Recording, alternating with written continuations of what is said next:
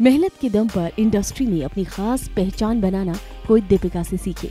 दीपिका पादुकोण, बॉलीवुड का वो नाम जो 11 सालों से ज़बरदस्त राज कर रही हैं। दीपिका पादुकोण अपने टैलेंट के दम पर बॉलीवुड में अपनी खास पहचान बना चुकी हैं। और आलम ये है कि दीपिका का फ़िल्मों में होने का मतलब फ़िल्में सुपर डुपर हिट होने की गारंटी दीपिका बहुत खूबसूरत है, दीपिका बहुत स्टाइलिश है। आज दीपिका दुल्हन बन चुकी है, रणवीर की दुल्हन। आज दीपिका अपनी शादी को लेकर चर्चाओं में है। दीपिका बॉलीवुड ही नहीं, हॉलीवुड में भी अपनी एक्टिंग के जौहर दिखा रही है।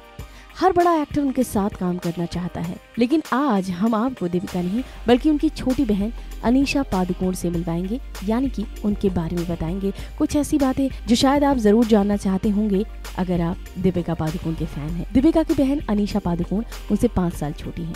उन्नीस सौ इक्यानवे में जन्मी अनीशा एक गोल्फर हैं। अनीशा बहुत टैलेंटेड हैं और वो इंडियन लेवल पर भारत को रिप्रेजेंट करती हैं गोल्फ में अनीशा का अपनी बहन की तरह बॉलीवुड में आने का कोई इरादा नहीं था और ना ही है वो गोल्फ में ही अपना करियर बना रही हैं। अनिशा टैलेंट और ब्यूटी की परफेक्ट इक्वेशन है अनीशा की पढ़ाई माउंट कार्मेल कॉलेज से हुई।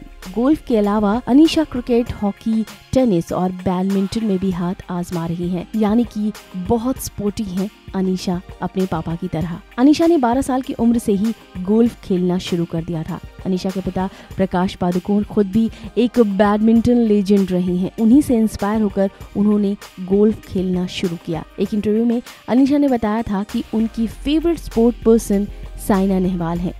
उन्होंने दीपिका के बारे में बात करते हुए कहा कि वो मेरी माँ की तरह देखभाल करती हैं, यानी कि दीपिका पादुकोण और अनीशा की अच्छी खासी बॉन्डिंग है। एज अ सिस्टर वो उनकी बहुत केयर करती हैं। उनका कहना है कि दीपिका बहुत केयरिंग और प्रोटेक्टिव है। काम की वजह से दोनों को मिलने का ज़्यादा वक्त नहीं मिलता, लेकिन जब भी वो मिलते हैं, बहुत क्वालिटी टाइम स्पेंड करते हैं। दीपिका की फ़िल्मों पर एक बार उन्होंने बोला था कि वो उनकी सभी फ़िल्में देखती हैं, लेकिन उनकी ये जवानी है दीवानी और लव आजकल बहुत पसंद है। इसके अलावा उन्हें लफंगे परिंदे पसंद आई थी। अनिशा को दीपिका की कॉकटेल और कार्तिक कॉलिंग कार्तिक भी बहुत पसंद आई थी। इतना ही नहीं, जब अनिशा को दीपिका की परफॉर्मेंस पसंद नहीं आती तो वो उन्हें बोल देती हैं। जैसे अनिशा को दीपिका की चेन्नई एक्सप्रेस बिल्कुल पसंद नहीं आई थी।